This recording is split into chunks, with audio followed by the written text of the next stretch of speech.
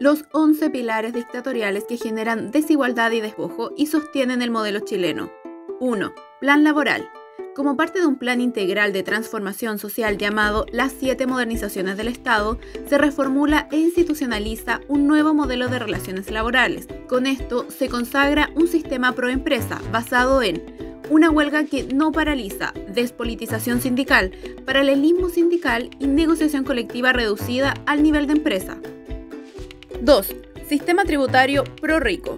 El sistema produce la integración de impuestos entre empresas y sus dueños a través del impuesto global complementario. Esto permite que los impuestos que las empresas pagan por sus ganancias se consideren como adelanto del impuesto que deben pagar los dueños. Este sistema ha generado que las personas del 0,01% de mayores ingresos paguen una tasa de impuestos menor que la mitad más pobre en Chile.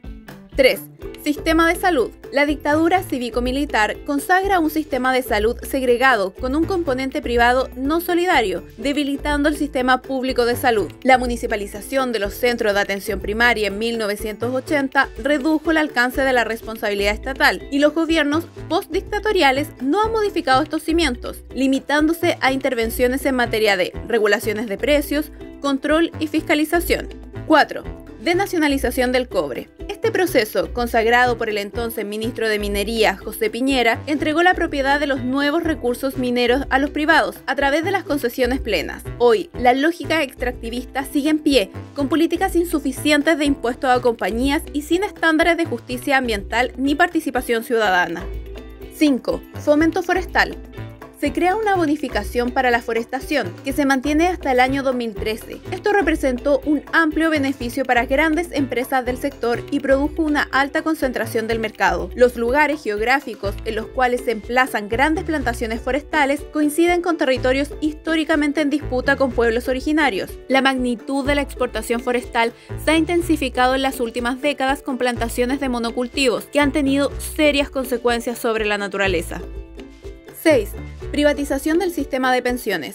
El sistema de cajas previsionales es sustituido por un mercado de cuentas individuales de ahorro privado obligatorio, administradas por las administradoras de fondo de pensiones AFP, instituciones privadas que persiguen el lucro. Durante sus más de 40 años de existencia, el sistema de capitalización individual ha provisto de capital a un selecto grupo de conglomerados económicos chilenos y aseguradoras transnacionales. Hoy, las AFP y compañías de seguro de vida administran activos por casi 235 mil millones millones de dólares que equivalen al 77,4% del PIB chileno.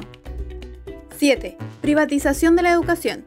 Con la municipalización de la educación escolar, se comienzan a financiar las escuelas a través del número de estudiantes que asisten a clases. En educación superior, se permitió la creación de instituciones privadas generándose un mercado de la educación y un crecimiento inorgánico de la matrícula. Con la creación del crédito con aval del Estado, CAE, en el año 2005, se consolidó el endeudamiento como el medio para acceder a la educación superior. Si bien en el año 2016 se comenzó a implementar de forma gradual la política de gratuidad para la educación superior, las consecuencias del CAE persisten. 8. Sistema bancario. Desde 1975 se privatizan los bancos, excepto el Banco Estado. Se permite la entrada de bancos extranjeros y se liberalizan las tasas de interés. En 1986 se crea la Ley General de Bancos, que, entre otras materias, estableció la segmentación de carteras según tipo de riesgo. En 2001 se reduce a la mitad el requerimiento mínimo de capital necesaria para constituir una sociedad bancaria, generando condiciones para la banca del retail, la cual no estuvo regulada hasta el año 2006. 9. Subcontratación. Desde 1979 se permite que las empresas subcontraten las actividades que tienen que ver con su giro principal, generando relaciones triangulares de trabajo. La subcontratación separa las relaciones de dependencia económica en dos empleadores, lo que precariza aún más a la clase trabajadora en términos de sus condiciones laborales, salarios y formas de organización colectiva. En el año 2007, al discutirse la ley de subcontratación, existió la posibilidad de eliminar este sistema en el giro de la empresa, pero esto no se hizo. 10. Privatización del agua. El Código de Aguas privatizó los recursos hídricos y permitió lucrar con el agua. Otorgó derechos a perpetuidad y de forma gratuita a las empresas. Hoy, el 90% de los recursos hídricos está en manos de empresas vinculadas al agronegocio o al sector minero.